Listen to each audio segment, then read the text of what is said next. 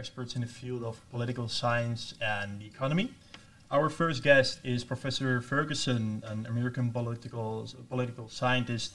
Uh, his articles have appeared in many scholarly journals, and is founder of the investment theory of party competition. Uh, our second guest is Mr. Ha-Joon Chang, uh, a South Korean institutional economist, author of some international bestsellers such as uh, 23 Things They Don't Tell You About uh, Capitalism.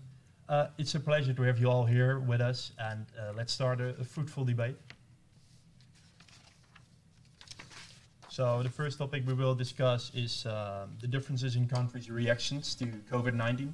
And uh, I first have a question for you, uh, Professor Ferguson. Uh, on the 11th March 2020, the WHO labeled uh, COVID-19 as a pandemic. This is already more than a half year ago. However, uh, COVID-19 has exposed weaknesses of countries' their social safety nets. this disease has everybody's attention at this moment and therefore a lot of public and private um, money shifted to countries their healthcare systems. So, um, Professor Ferguson, what do you think? Uh, because of this process, will uh, healthcare remain the most important topic of the political agenda the coming years?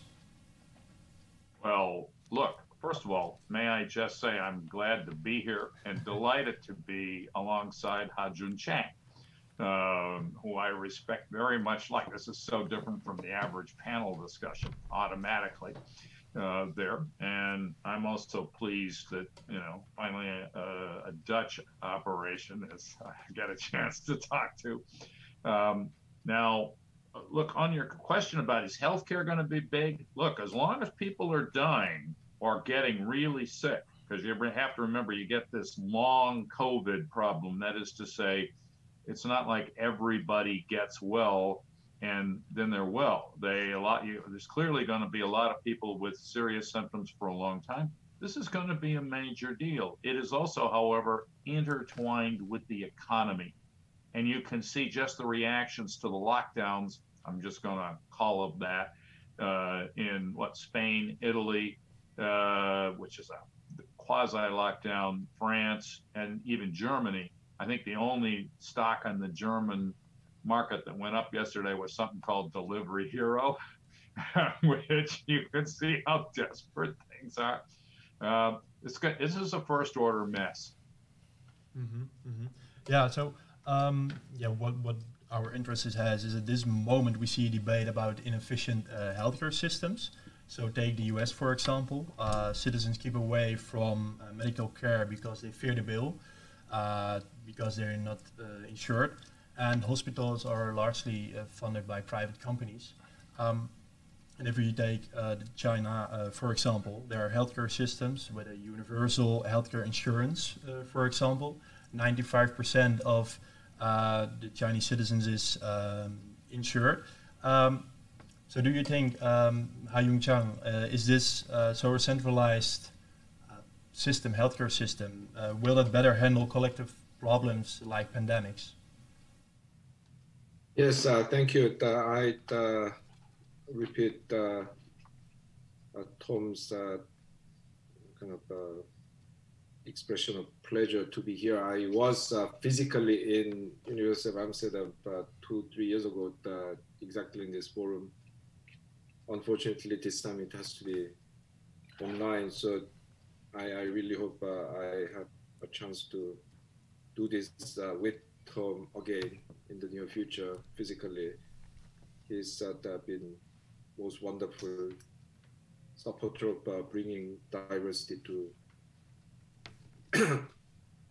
economic research, policy discussion, and uh, general intellectual uh, development. So I uh, would like to thank him for that. Uh, yes, I think that uh, you know this uh, crisis has uh, shown that no one is safe unless everyone is safe. I mean, you talked about the healthcare. Yes, I mean in countries where healthcare coverage has been patchy, there were a lot of uh, people who didn't go to the hospital even when they should have because they were afraid of the medical bill. In countries where they don't have the, the mandatory the sick pay, a lot of people kept on working despite being sick, uh, thereby spreading the disease. So I think that uh, you know, I mean, of course, that that, that you that, have uh, different political consensus and uh, institutional mechanisms in different countries. So I'm not uh, saying that that every country should uh, adopt the same system, but you know somehow you have to making sure that everyone is uh, included in the system because when you have something like this, when you have you know, the, the other systemic challenges like climate change, you cannot just uh, protect a subset of people, you know, according to whatever criterion, usually money that, that you come up with. I mean, you need universal coverage for certain things like uh, the health. Otherwise, uh, it doesn't work. Hmm? So, uh, so I think uh, that's uh, the biggest uh, lesson that, that, that, we can draw that, from this pandemic. Yeah, so may, maybe then uh, our economic measures such as uh, helicopter money or universal basic income are those alternative, uh, appropriate alternatives to uh, fight uh, such pandemics for Joon Chang? Uh, yeah, I think the you know the, the interesting thing is that countries that have introduced some form of helicopter money or uh, some rudimentary form of uh, universal basic income are actually countries that do not have a good welfare state. You know, the U.S. used those, uh, South Korea used those exactly because their healthcare system, uh, sorry, welfare system isn't that uh, fully universal. So in the countries where they have a better welfare state, I mean, you could, of course, that there, there, there are kind of you know, corners where people are left out, you know, that uh, what do you do with uh, self-employed people and so on. But that, that generally, you know, in countries with comprehensive uh, universal welfare state, uh, there was uh, actually less need to send out these uh, random checks and, you know, introduce that, that at least one of the universal basic income. So I think, you know, that, that paradoxically speaking, I mean, that, that the fact that some countries have had to use it is a reflection of their weakness rather than their the, the strengths. But uh, having said that, you know, yes, I mean, in the crisis situation like this that affects everyone, and when there's uh, such little time to select who deserves the payment and so on, I think it's uh, better to just uh, get those money out, and then uh, if you want, to tax them back later, because that if you try to introduce some kind of means testing at this stage, especially in a country with that, weak uh, welfare state where you don't have enough information about individuals, it will only delay things. And you know, I mean, uh, a lot of people are uh, starving and uh, having problem with uh, making sorry meeting basic needs. so I think that, that you have to do these things that. that if uh, that, your the basic welfare system isn't uh, good enough. Hmm? Mm-hmm. And uh, well, related to your argument, argument. Uh, Could I just a comment on Ha Joon's? Yes, I, would yeah. love to ask him a question because he's really good at comparative economics and he knows the Asian systems. Mm-hmm. My observation um, was that at the st- that first of all, I looked at both what happened at the start and what people said was happening at the start. There were all the and when you look at most every data, uh, the one I like is excess deaths and a rate. I mean, uh, there. But I'll even take COVID cases if one has to, because in many cases that's all you got. And we have real data problems with uh, lots of countries. I could see it in the U.S. state of Georgia from time to time, and I can see it in other countries, including, I think, China. Um, the um, but here's my my my take was everybody had a chance to do something right first, and which was quickly closed down. And the Australians and the New Zealanders did that. I mean, I my hypothesis would be these people had reaction. They had previous. They were close to China. They had previous experience with viruses coming from around Asia. And they also knew, and one Australian was quite blunt to me, saying, We can't possibly deal with this if we don't close down immediately. And so you could help yourself with that.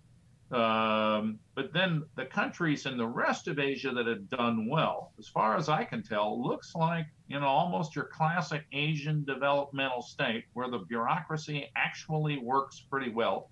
And the functions they do are to test uh, and then contact trace and then isolate. And my sense was they've done that pretty well. The year when you look at excess death rates in uh, the rest of the world, uh, the excess death data are not great, but um, it's the Nordics less Sweden and um, Germany that have the lowest excess death rates. That was as of three or four weeks ago. But you can see everywhere in Europe, this business is breaking down, and they have clearly not spent the time in sort of testing, tracing, and contact. And the only other comment I want to make on that is there's a failure that behind all this, and it's uh, the regulation of telecommunications is a latent variable in a lot of this, in the sense that, bluntly, uh, I, in the Asian developmental state, they don't ask you whether you like being traced um, on an app.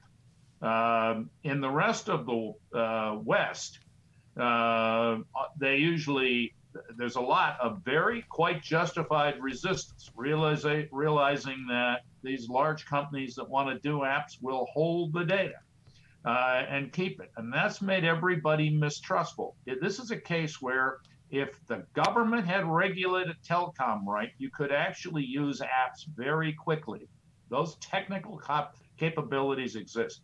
They're not used in the West, uh, but for good, suspicious reasons by the population. No, no, I think uh, that uh, you made all the key points there. You know, the, first of all, you know, there was difference between countries in terms of uh, the the speed of reaction. And uh, part of it was uh, the you know technical problems, but a lot of it was about you know I would say the hubris and matter of trust. Uh, so that uh, first, in terms of hubris, you know, that if you take early enough action, you can actually contain this with the relatively primitive uh, the capabilities. Yeah, look at the, yeah.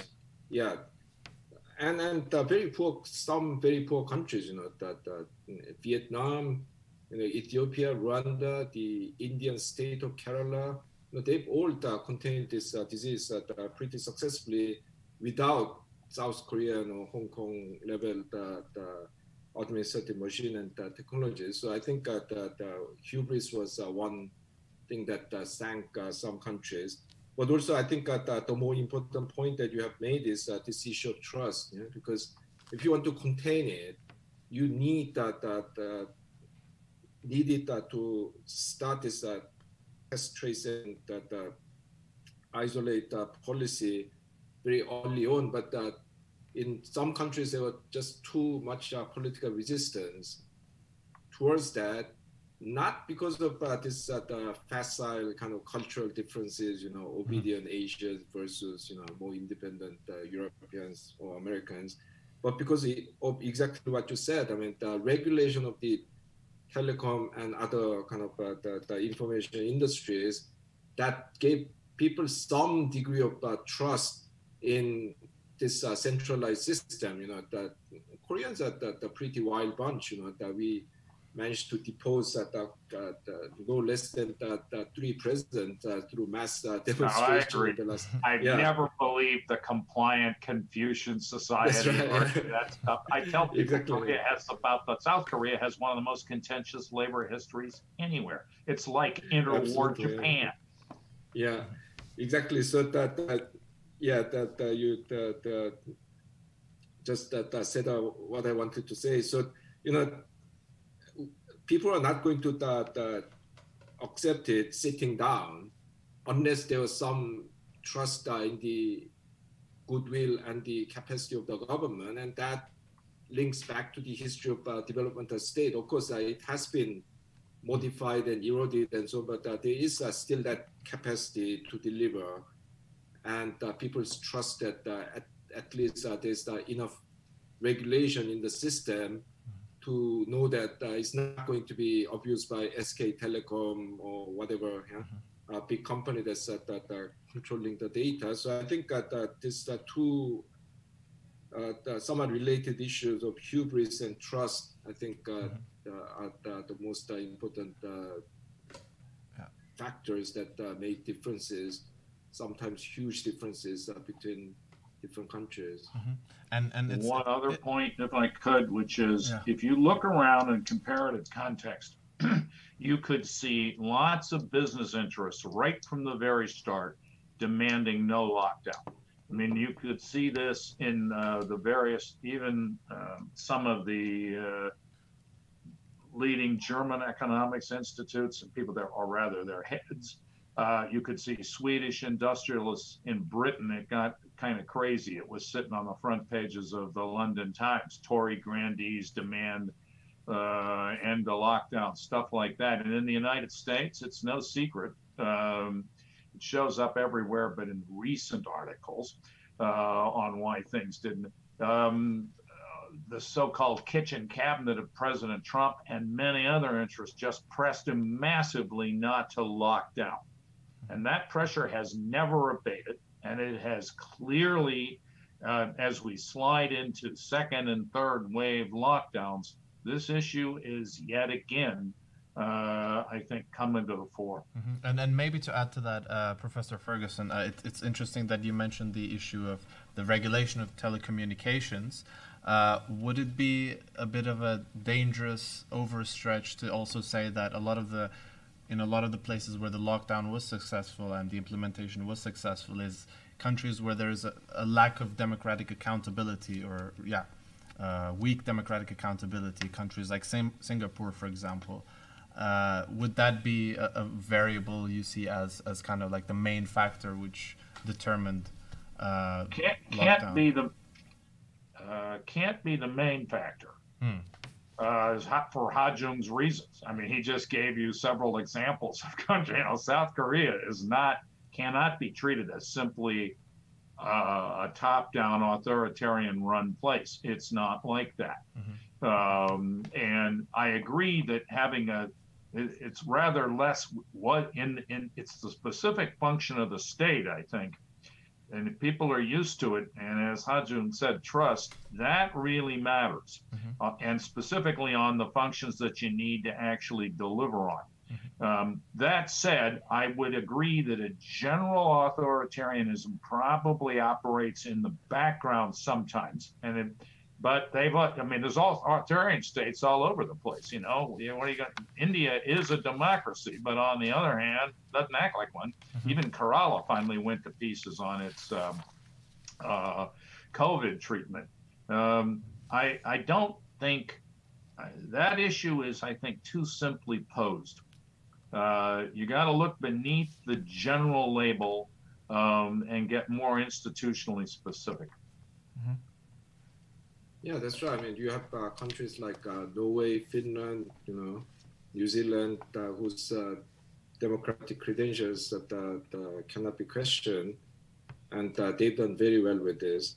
But I think that what Tom said earlier, I mean, that this anti-lockdown kind of thinking, you know, I think those people got their kind of causal priorities wrong because.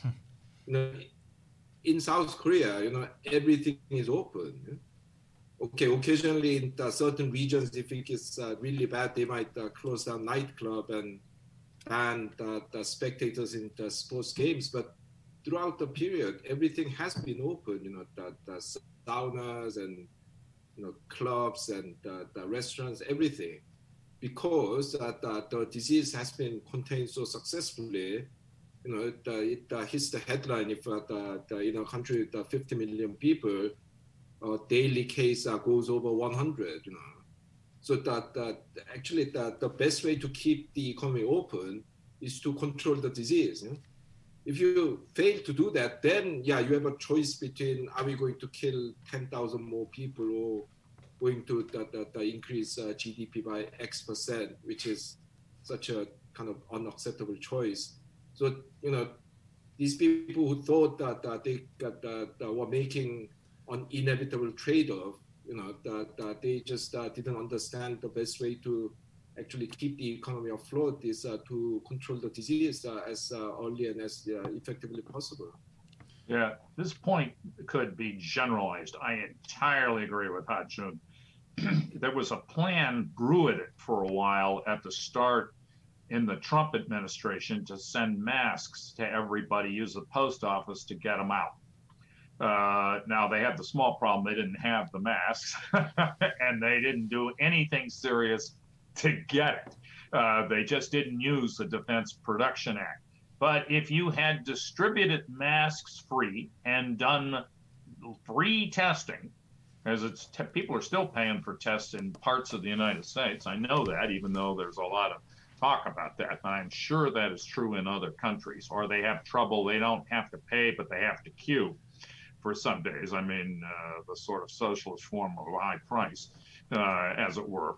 Um, the um, you could have saved enormous amounts of money. All this central bank intervention and a lot of fiscal policy. It would have been a whole lot easier to do the health system and uh, free distribution of masks and things like that. And you know, I understand if people don't have, you know, the personal protective equipment (PPE), well, they can't uh, immediately offer that. Although our folks compounded it by denying that masks uh, would help, right? I mean, that's even uh, Dr. Fauci uh, for a while made some noises like that.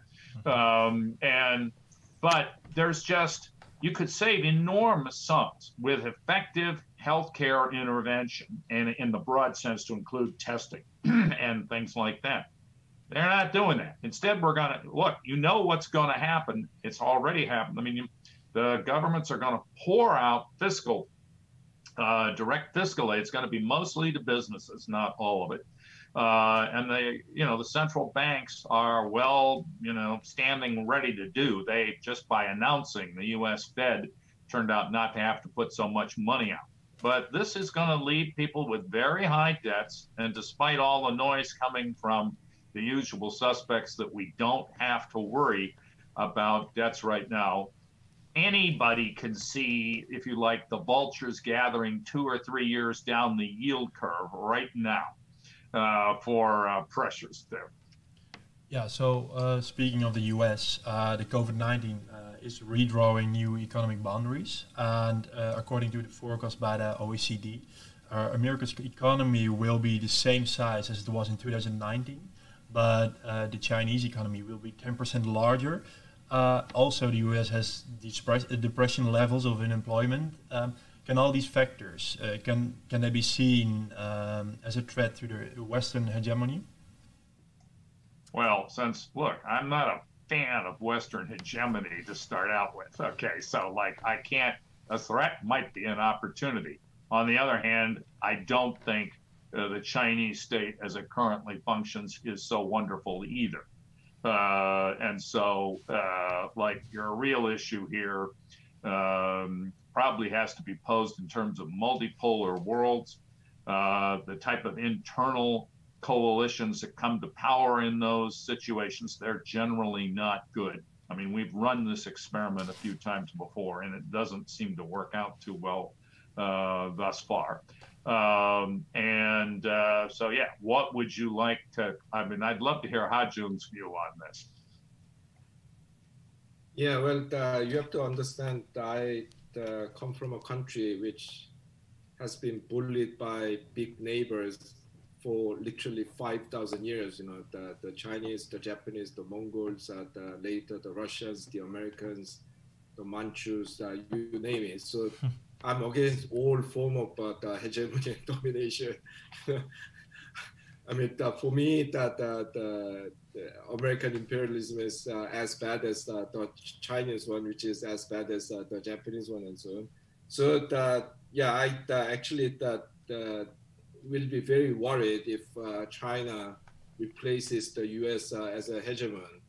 But you know, I think that what Tom has just predicted of more multipolar world. I mean, that is certain, and that might actually be a good thing. You know, of course, that that, that uh, carries uh, danger of you know the, of uh, global war and so on. But uh, I don't think that uh, at least uh, in the next 20 years, uh, the Chinese are keen on uh, kind of taking the Americans on uh, in military terms, and probably they never will uh, because they they are, I mean, less actually, despite what people think, less driven by political ambition than the, the kind of desire to uh, expand their economy. You know that that if a lot of uh, Chinese action which uh, look like aggression and is aggression vis-a-vis some economies are motivated by their desire to kind of uh, push back uh, what they see as uh, American encirclement of China. Mm-hmm. So the Chinese are not as the kind of militarily aggressive as that what uh, many uh, Westerners think.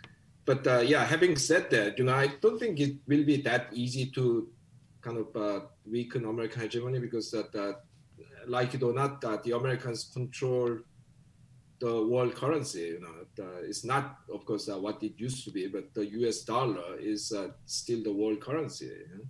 It uh, controls that huge kind of cultural infrastructure in terms of uh, the, the English language and uh, the education system and the, the internet, the, the, news media. You know, that you have to see this uh, in historical context, yeah? because that, that, that the first English and then American domination has a history of couple of centuries at least. You know? I mean, you cannot just that, that, that wipe that out uh, simply because China becomes I don't know, 20% bigger than the US economy. So I think it will be long time in coming uh, if uh, hegemony ever changes. And yeah, we really need to think about ways to, you know, that uh, building a stable multipolar world uh, rather than trying to choose between one bad hegemon and another bad hegemon and uh, a third uh, even worse hegemon. Yeah? So I think that uh, that's uh, how uh, I would suggest that we think about this. So what what kind Can of? I follow uh, that up just yes, a bit? Yes, I, as usual, agree with Ha-Joon. Um, the um, the issue, I think, is partly the dollar, but I'm I don't share the confidence of, for instance, many modern money theory people that you can't have major currency crises uh, in that. That's just look, I've lived through one of those uh, in the late 70s, and I remember quite dramatically. It can, and you can see, if you watch carefully the dynamics between Europe and the U.S. right now, you can see all kinds of funny little things uh, happening, including you know, the rise in the price of gold, that tells you there's a lot of people thinking about alternative stores of value, and even you know moving to the Japanese yen or something there aren't too many folks going to rush into the renminbi because when you get in, you probably can't get out necessarily. Um, but all right, um, but then there is also the question of the digital economy.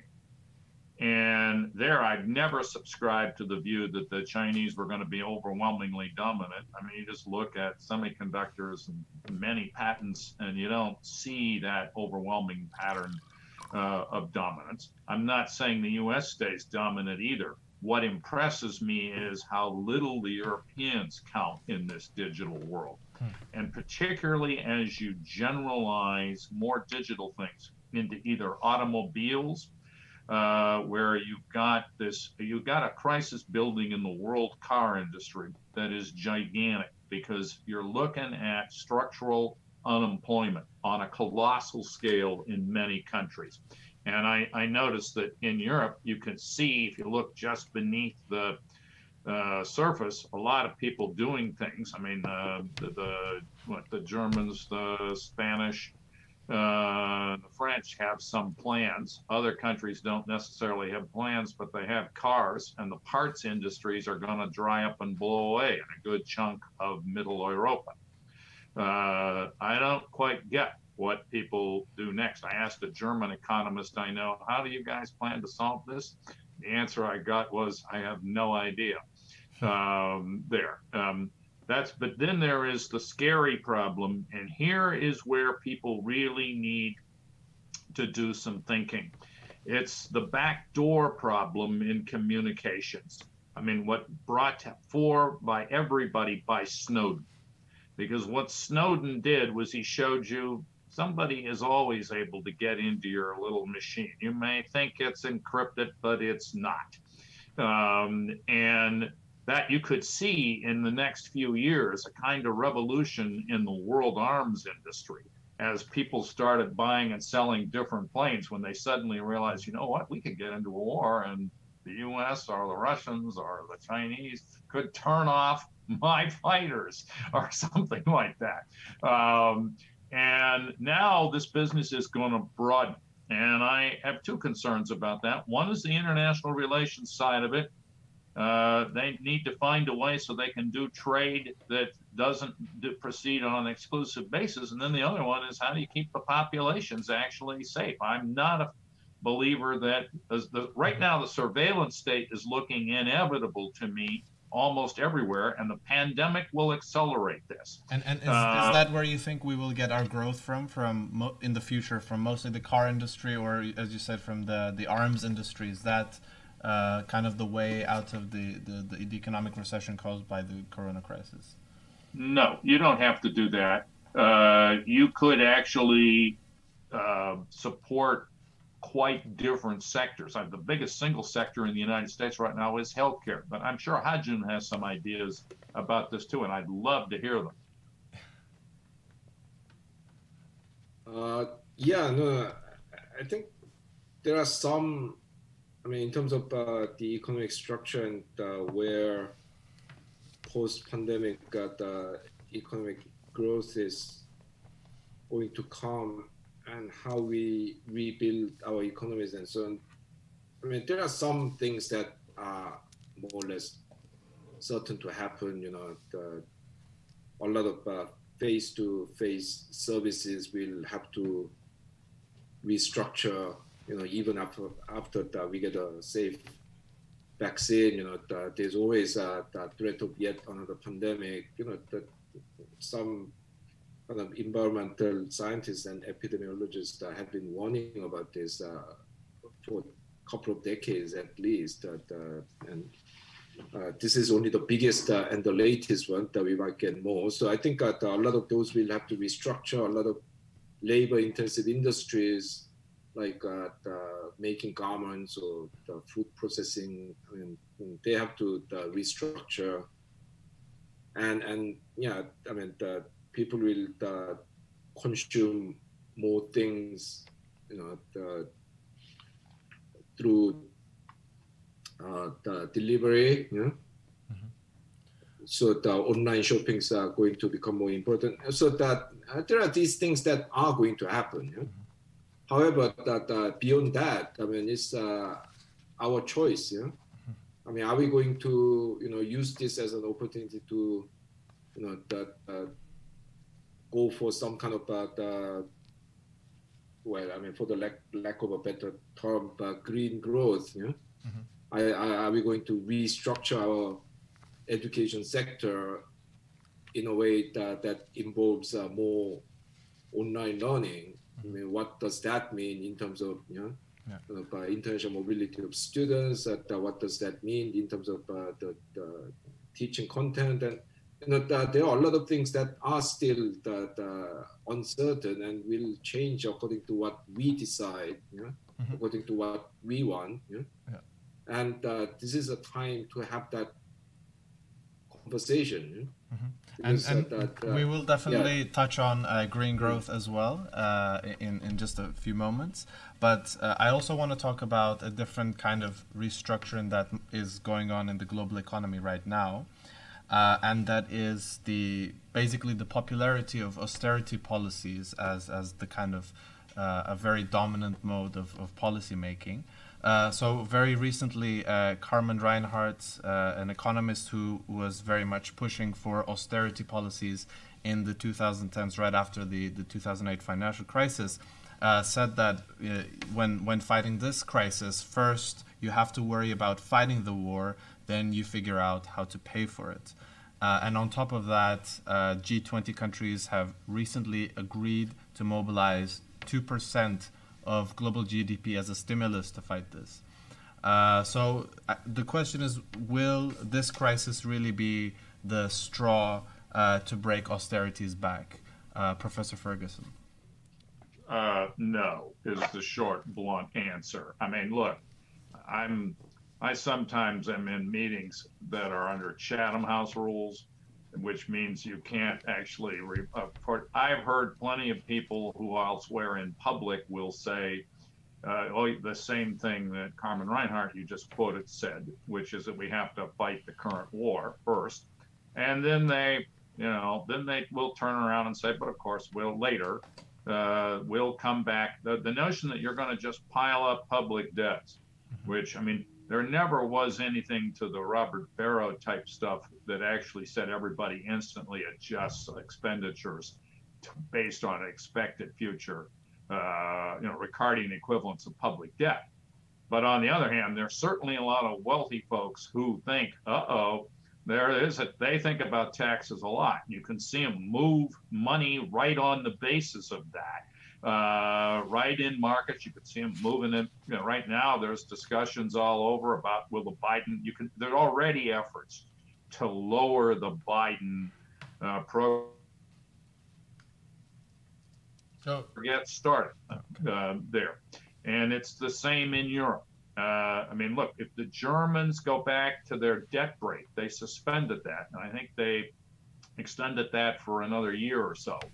Uh, if they go back to the, take the debt brake off and just try to act like you can now go back to the new abnormal, that's what I call it, um, then uh, all of Europe is going to have us very serious trouble because Germany's a giant part of that if they're going to have to start paying down their debts.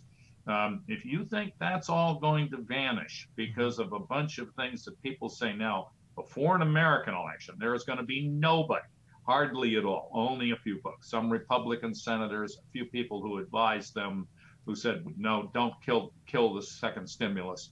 Um, but you know, eh, wait till elections happen in the U.S. and Germany, especially, and see what happens. I would observe that despite all the noise about how we shouldn't worry about the pandemic and, eh, and just spend, you'll notice when Wall Street straightened out, that was the end of the stimulus in the United States. It did not, even though on the face of it, you'd expect that the folks, even the Trump people, to want a second one they didn't, and it didn't happen. It's not going to happen. If it happens now, it won't matter before the election. Um, and you got to take the point here. No, uh, this is this is where economic history is really very useful. Um, and you know, I'd love to hear Ha-Joon. I just love to read his stuff. So uh, you, uh, can I just pass this to you? Thank you. Uh, yeah, no, I, I uh, broadly agree with uh, Tom. Uh, yeah, I think it's interesting that Reinhart uh, is now essentially drawing analogy with the Second World War, which was a unique event because know, after the Second World War, I don't know about the US, but in the UK, public debt to GDP ratio shot up to something like 270 percent. Yeah? And it was yeah, it was very high.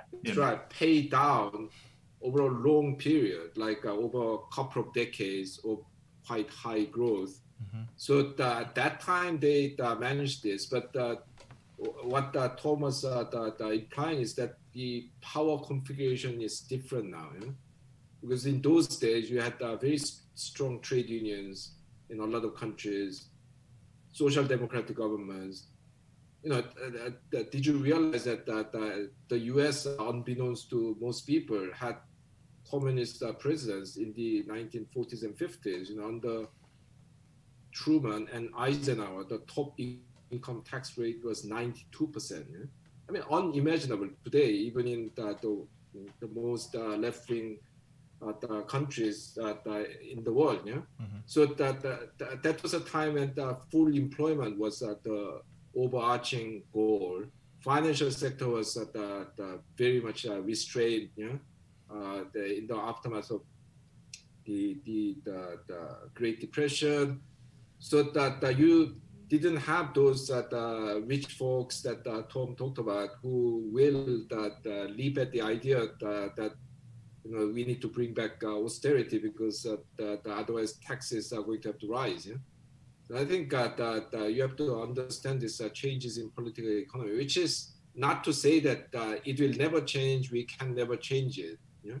But it will take time. Yeah. It will need different kinds of organizing. You know, different types of uh, the, popular pressure on the politicians than the, the traditional the, political system has been able to deliver. And on, until we you know, the, rein in the you know, financial sector, until we close down the tax havens, until we you know, the, the can the, the, the raise uh, the top income taxes uh, significantly, until politics uh, changes sufficiently to be able to do that, yes, I, I totally agree with that, Tom, that uh, austerity will come back uh, sooner or later. Mm-hmm. But surely it's it's somewhat of a positive sign that the IMF is also on board with this. The IMF has also declared that it is it is supporting like very much stimulus and anti-austerity policies. At least yeah, it's a now, good sign. Yes, uh, but uh, right you know, now, take yeah. the point. You really need to take the point because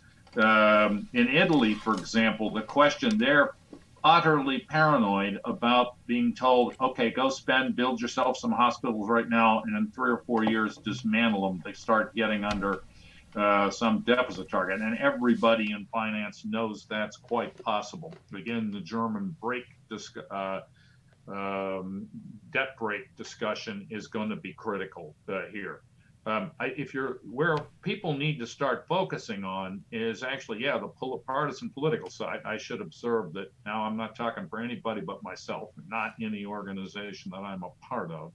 Um, the um, the black green coalition type situation, to use the German version, but or if you want to see where these folks are sometimes sitting, um, you know, the the role of even the Aust- current Austrian government has some uh, maybe uh, a somewhat shadow of the future. Not there's a lot of peculiarities there. Austria is somewhat different. I actually went years ago to school there, so I have some sense of that. Uh, but the um, a lot of green parties, when you are represent very affluent constituencies, they are often they're quite happy to spend on green stuff um, they're they have different views. It's there's not they're not all of a piece um, inside those parties, not anywhere on the question of taxation of the rich and things like that.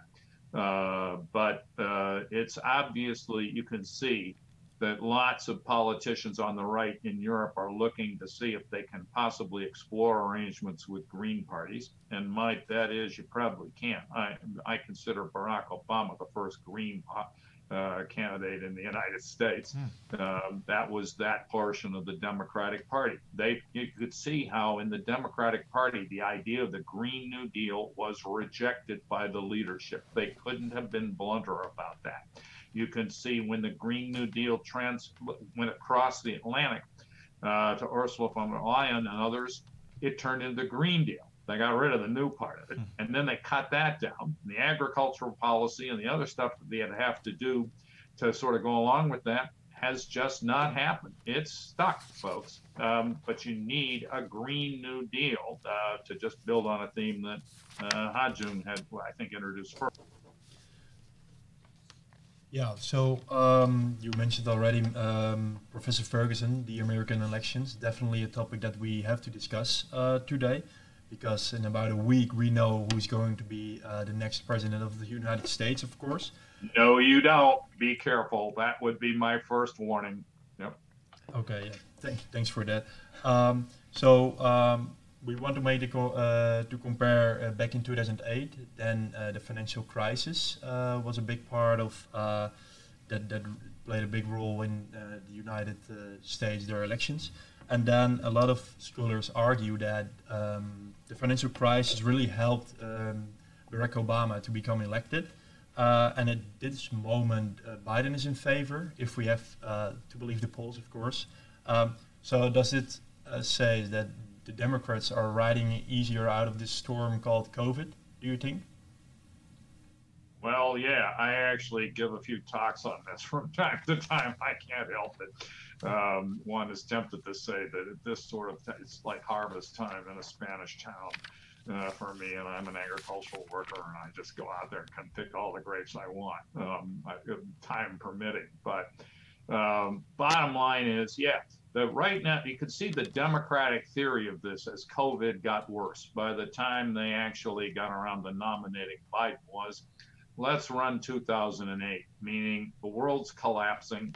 Uh, let's just stand by. Let's get Biden uh, rarely to appear, not to talk too much, not to pass out COVID to people, a lesson Trump didn't absorb, um, as we know. Yeah, the, the Republicans were trying to run uh, a 21st century, uh, late 20, later 21st century version uh, of. Um, 1968. They were trying to run on law and order, but with industrial transformation, uh, "Make America Great Again" was the popular slogan. Also, an essential part of that. Huge numbers of people in both in and out of the United States claim that the you know the 2016 victory was about uh, basically race and women issues. Um, and it was those were important, but and I got so tired of hearing that I actually sat down and did went into the American National Election Survey and with several other people, Ben Page and I and some others, we did a paper on who actually voted for Trump. You can see that economics was important. These are the people who were left out of the recovery and Obama. I mean, that, that, uh, this endless claim about race, um, identity politics determining everything isn't true. Uh, okay, now you've got COVID operating as a massive problem. And, you know, Trump just looks terrible on that. And it's peaking again just as people go to vote. And the White House was obviously in a total mess. They had the chief of staff, Meadows, saying the other day, in, actually confessing they couldn't control the virus at all. Uh, I mean, I, it's hard to think of worse time. And, and then they sort of, they didn't take the point that Ha-Joon and I have both been making, which is that if you want the economy to go, you actually have to take care of the health of the population. And they didn't. So uh, for now, should we get then our hopes for Biden? Well, uh, all right. I, am very reluctant to sort of, but I'm perfectly happy to say what I've said time and again. You can see two camps at war in the Biden camp. Uh, they to get elected. They, I mean, actually, let's just back up and review the bidding. They defeat Biden defeated Sanders and Warren. Um, that was over just as COVID started up. Uh, but COVID then underscored the enormous importance of medical care for all. Um, that was the centerpiece of Sanders and Warren's campaign. Wasn't the only plank in either, but it was a big part of it. Um, and the irony here is that it was the poor black districts in the South whose leaders went overwhelmingly for Biden that delivered the key Southern victory. Now, those folks are not looking all that great right now, except that they might have backed a winner. They have got to decide what they really want to do because their populations, blacks and Hispanics, have suffered more than any ethnic group, Native Americans too. I mean, the, the numbers here uh, which are hard to get and were, I think, quite clearly suppressed for a long time, mm-hmm. um, are just terrible. Um, and the at the during the convention, Ted Kaufman, who's close to Biden, and I think represents his instinctive point of view, uh, was saying, "We know that we can't spend forever." That we the cupboard will be kind of bare. Then they had to walk it back under great criticism. This issue is not finished at all. We are the morning after. If, let me, I caution that there are serious problems about whether all the state counts will be accepted quickly and clear on election day. Mm-hmm. That's I'm what I'm saying now is putting it mildly because um, the possibilities of court challenge, militia uprisings that you know hijack not a governor but polls and things like that. All of this is quite possible. Uh, but it, no, it's not clear at all what a Biden administration will do, except I expect him to move on the green part of the agenda. If he doesn't put people back to work, quickly.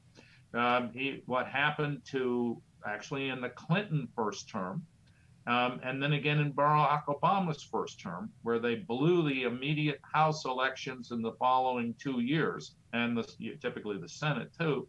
They had disaster, electoral reverses. That will happen again. Mm-hmm. So, um, do you think that we will see the oil lobbies crushed under Biden, uh, or, or, will the status quo, what we're facing right now, persist towards more green? If I have to bet, I bet a little. They will do the least they can, and it will prove not enough. Mm-hmm. Okay, and and now just relating to again the persistence of uh, oil lobbies, fossil fuel lobbies. Uh, we have seen a significant amount of disinvesting and turning away from fossil fuel companies. Especially, we've seen uh, oil go into negative prices uh, a few months ago. Uh, Professor Ha-Joon Chang, do you think that this change, which is, is, is good on the surface of it, will, will be damaging for uh, a lot of oil exporting countries, oil dependent countries, which are uh, relatively poor and still developing? Yeah, I mean, it's uh, certainly going to hurt uh, those countries in the short run, but uh, also some of those countries are countries that are being on the front line of uh, climate change. At, uh, you know, so I mean, costs from uh, the extreme weather events and so on. you know, they'll have to count those that against the loss in oil revenue. But yeah, I think that I mean, I'm not an expert on the environmental issues, but uh, you know, talking to people who are more of an expert uh, in the field, I mean, uh, they are now saying that actually these uh, alternative uh, energy sources are going to be pretty soon competitive in terms of cost with oil. Mm-hmm. And with a bit of a push, we may turn the table. And yeah, that some of the richer oil countries are very aware that you know their days are numbered you know mm-hmm. For one thing that uh, oil is finite you know that you cannot make it even if you want it. But uh, secondly a lot of countries that that, that uh, running out of uh, reserve you know. Of course that that uh, oil exploration and uh, drilling technology keeps advancing. So now we are extracting oil you know literally thousands of meters that below the, the, the seabed. But you know that there's uh, clearly going to be a limit. And yeah not all but uh, many companies actually trying to see whether they can become an energy company rather than oil company by investing in alternative energies and so on so i think you know that we are that uh, for the first time quite close to flipping this mm-hmm. because that if uh, it was 10 15 years ago you know that you can talk until you're throat is raw uh, about the need to kind of uh, replace oil with other energy sources, but uh, technologically they, they were just not there. Yeah? This time we are close, not quite there, but you know, the, with a bit of boost that we can change this. And yeah, in the long run, I mean, everyone will benefit from this. You know, the, the, the problem with our current economic thinking is that, uh, you know, given all this uh, method of uh, cost benefit analysis mm-hmm. With time discount, anything that happens uh, after 50 years is pretty irrelevant. But this is a problem that has consequences for centuries and then that, that, that potentially that to the end of the, the humanity. So, you know, we need to think uh, differently uh, about this time. And yeah, I think uh, the pandemic has done a little service in that respect by making people realize uh, the importance of uh, this uh, common destiny, like a global pandemic or climate crisis, that I mean doesn't that uh, uh, let anyone escape it. You know? Mm-hmm. And and that for the first time, people have seen that actually things can change. You know that I'm told by my Indian friends that they've seen clear blue sky for the first time in a couple of decades in New Delhi because of uh, the lockdown. So you know that people realize how much impact that uh, they are making on the environment. So I think there are these uh, glimmers of hope, but uh, you know, it's such a big issue with a lot of uh, money and power at stake. Mm-hmm. I mean, I, I that, that not not being that, that well versed enough in international politics that uh, I, I that, that just that, cannot uh, make any clear uh, prediction here. Mm-hmm. But one one issue that is Can definitely. I just make a comment? Oh, please, yes. yeah. Um, couple problems here. I looked at some of this literature and I have the sense that people are a little optimistic on how much carbon pricing will help them. That is to say, it does reduce pollution, but not enough. The other side of this that's really crucial, I think, is as you squeeze these energy economies, particularly where they're not in a small country with a dictatorship and almost no people, um, then you're going to have serious political repercussions. Um, I mean, the problem of how to sort of preserve the population as you raise the price of energy has not been solved. It, I mean, the yellow vest story in France is your fire bell ringing in the night.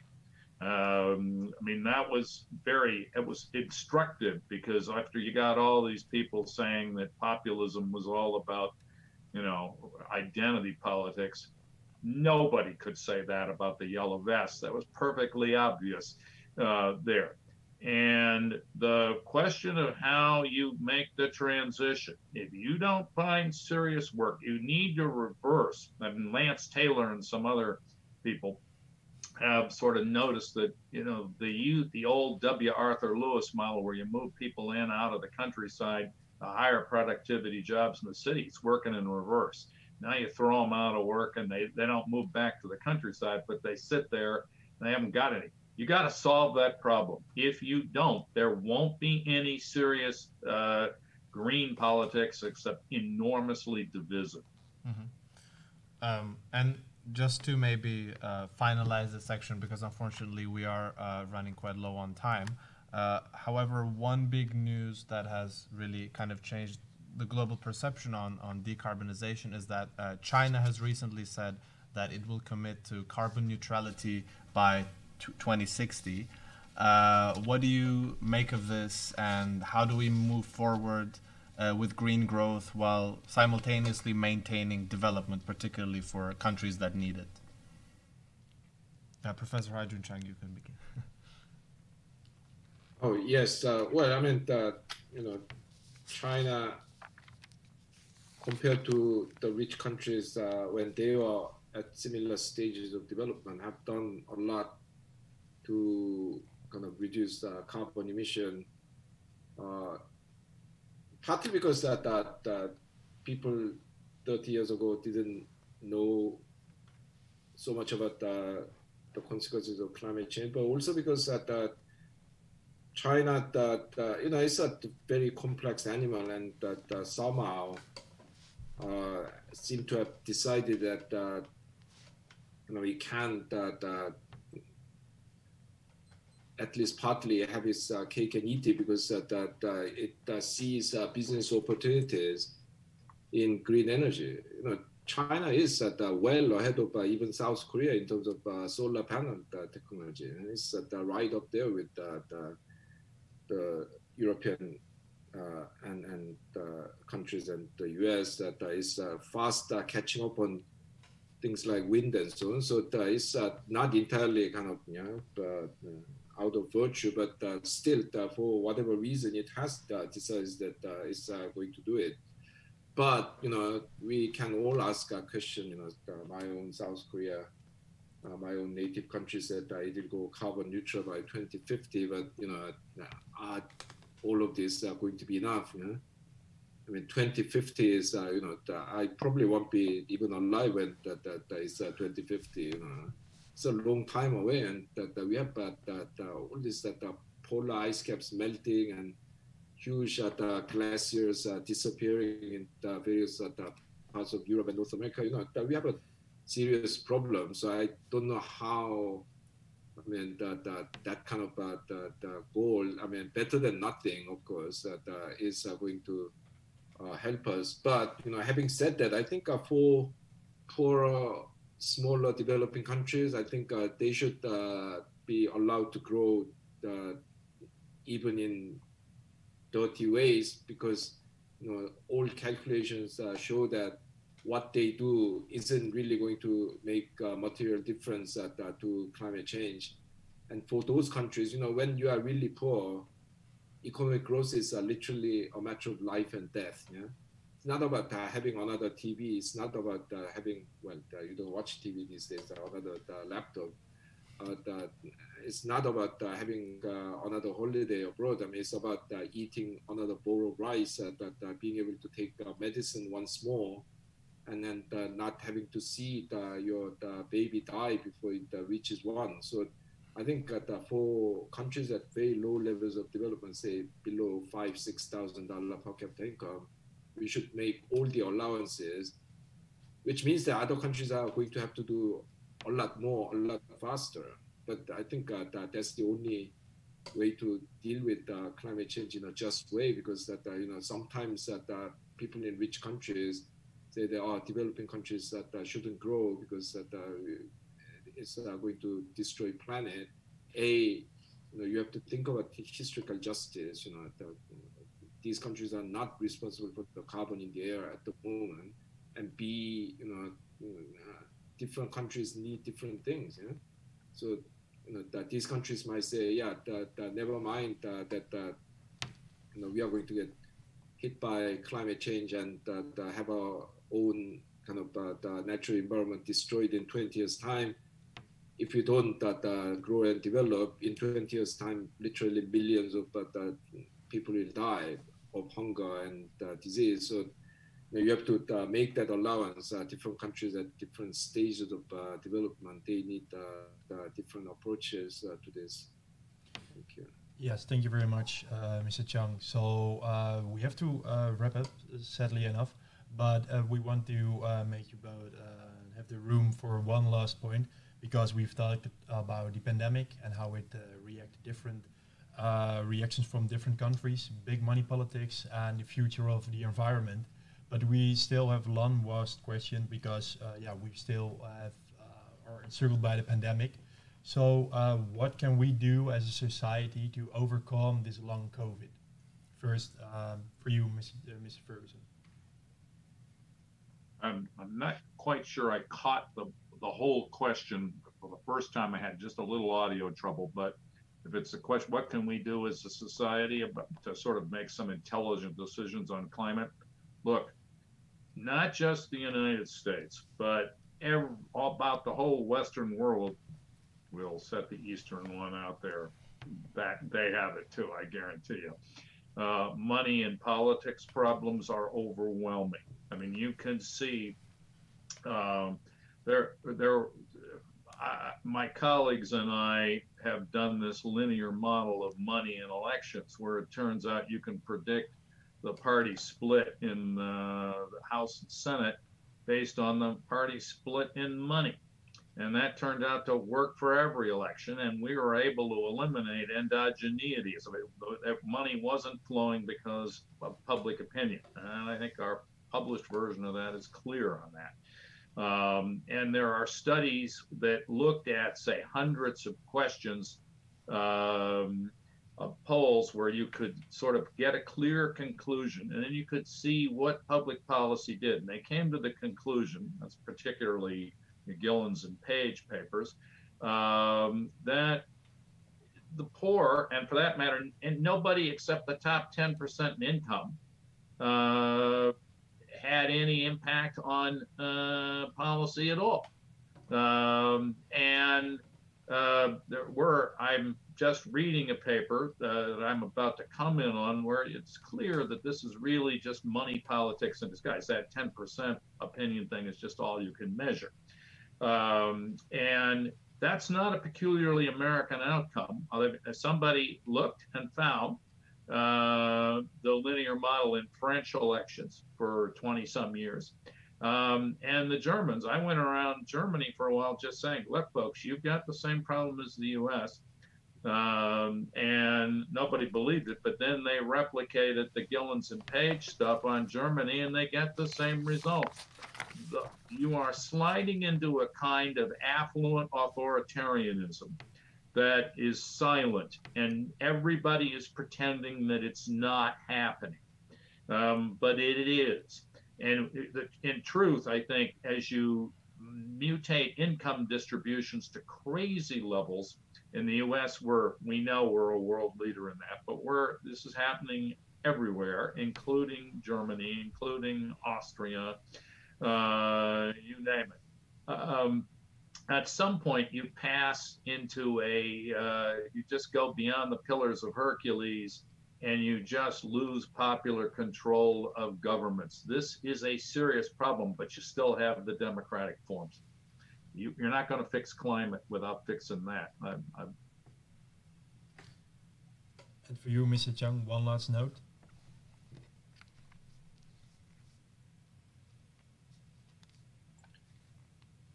Yeah, I just uh, want to be brief uh, that we are out of time and uh, that we have uh, covered a lot of ground. Mm-hmm. But uh, I think uh, the biggest enemy of reform is to believe that there is no alternative. It's to believe that there may be alternative, but they are all unrealistic.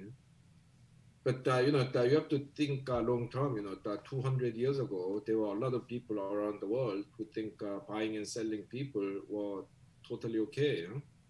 Slavery was legal in many countries. You know? You know, 100 years ago, the, the countries put women in prison for asking for vote. You know?